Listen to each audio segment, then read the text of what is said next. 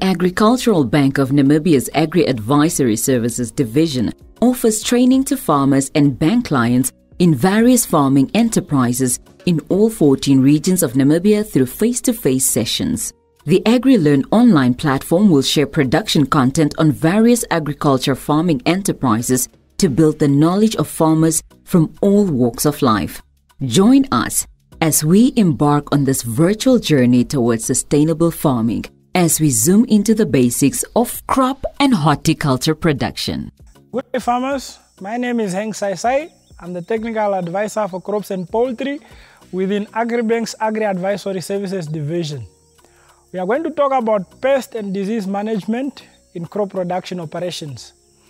I'll start off by saying that pests are harmful organisms that attack and uh, eat on your crops. And then we have a number of pests according to categories. The first one is the chewing uh, pests. These are the pests that you always identify or see on the leaves of your vegetables and they eat the leaves of your crop. The second group is known as the sucking pests. So these ones, they come specifically for fruit vegetables, whereby they pierce a small hole on uh, your vegetables and fruits, and then they suck out the sap from the fruit. And then you have the stinging pests. These ones, they only just sting the, the fruit and then there will be an infection on that area around the sting. And it's quite common for tomatoes when the fruit flies sting your, your tomatoes and then they have that brown rotting spot. And then last, last but not least, we have the soil pests. These are the ones that you can see with your eyes because most of the time they live underground. So their focus is to only eat on the root systems and some of them can be cutworms and earthworms. They cause serious damages to your root systems of each crop. And once they have targeted the root system, you start experiencing wilting of your crops. And then apart from just the pests, we do have uh, diseases. So diseases, these are conditions whereby they affect the normal optimum operations of a plant or a human being. And then it's a condition that results from many other aspects. But in crop production, they can only be parasitic diseases. These are the type of diseases that are caused either by bacteria, fungi, viruses, and then they can sometimes be an occurrence of non-parasitic diseases, which can result due to poor management and nutritional deficiencies. With uh, parasitic diseases, I'll give a common example of uh, potatoes and, uh, and tomatoes. They always suffer from a fungal disease called early or late blight. So this, this disease occurs due to certain environmental conditions. You'll find that if you are growing potatoes or tomatoes in an environment where there's a lot of humidity and warm temperatures, immediately when you add water and your irrigation system allows water to be on top of the, the plant, covering the leaves and the stem, you will find an occurrence whereby the branches, the leaves and the stem will start developing uh, fungal molds like the mold you find on bread. So that kind of condition is stimulated by environmental conditions whereby you have high, high temperatures with high humidity and moist conditions. So that environment always favors the development of fungal diseases. And then if you are to look at uh, non-parasitic diseases, these are diseases that occur because of deficiencies. And it's always common in vegetables. If you don't add boron, in sufficient quantities, for example, the deficiency of boron can be explained or can be seen by the aspect of leaves folding and having a bit of a brownish bronze color. So that tells you that the soil is lacking bronze, it's not getting enough uh, boron, for example, and that is what is now leading to the scalding and folding of your leaves. Sometimes these uh, Non-parasitic diseases, they occur because as a farmer, you didn't prepare the soil properly and understand the nutritional requirements of your crops. For example, if I come into this garden and I see that this, the, the cabbages, the beetroot, and the spinach, they have yellowing on their leaves. For example, if I take this uh, spinach leaf, if I'm seeing such a condition, then it will tell me that this specific crop is lacking nitrogen. That's why this leaf is now turning yellowish. So this is a deficiency, it's not, it's not a parasitic disease. So there are many ways in which you can combat uh, pests and diseases. The first user-friendly or economically or ecological friendly method of controlling pests and diseases is crop rotation.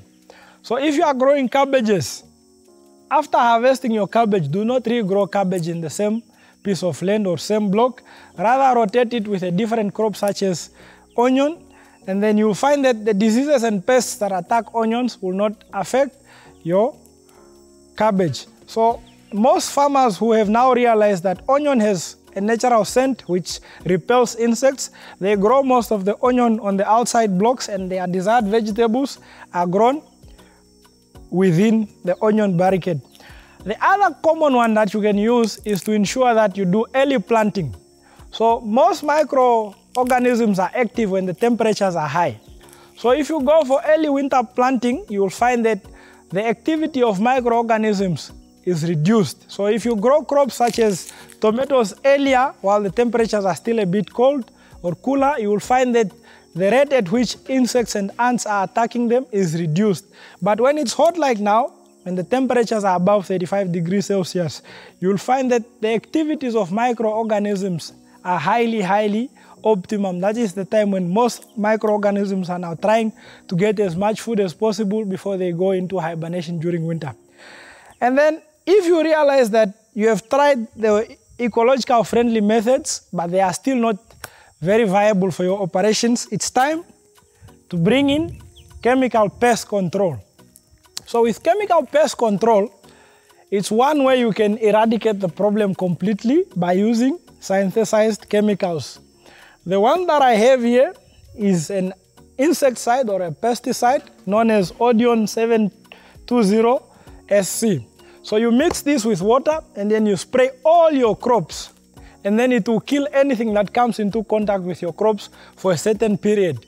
But what is important when you are using these chemicals is to ensure that you have the right protective gear and you ensure that after spraying your crops, you give a grace period of at least three weeks before you can start consuming and harvesting your product because if you harvest it three to four days after spraying this, this can be harmful and it can become very fatal.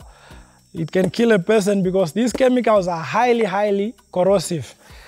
The other method in which some farmers control pests is to ensure that they bring in the biological enemy of the problem, uh, small microorganism. So if you have a problem with worms, you have a problem with aphids, there are certain enemies that nature introduces to take care of that problem.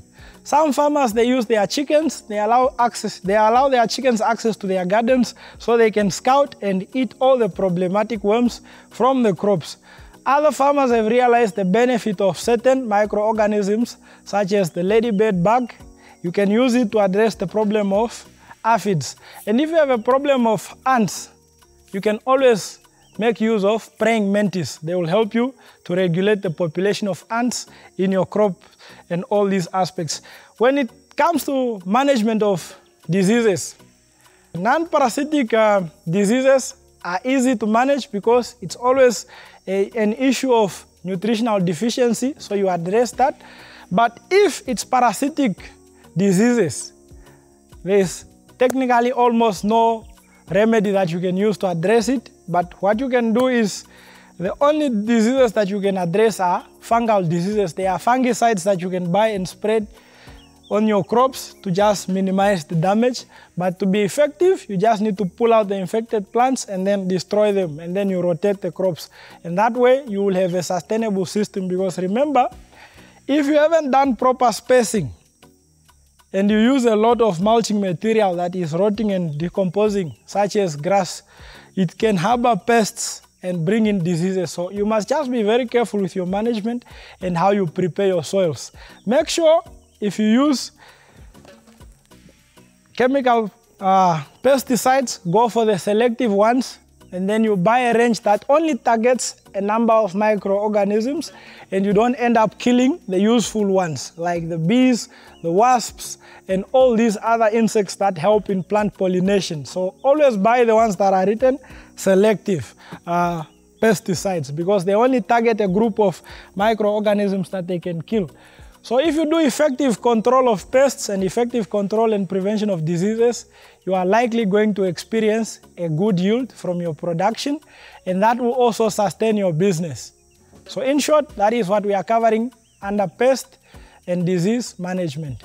That's it for now. Join us next time for more valuable insights.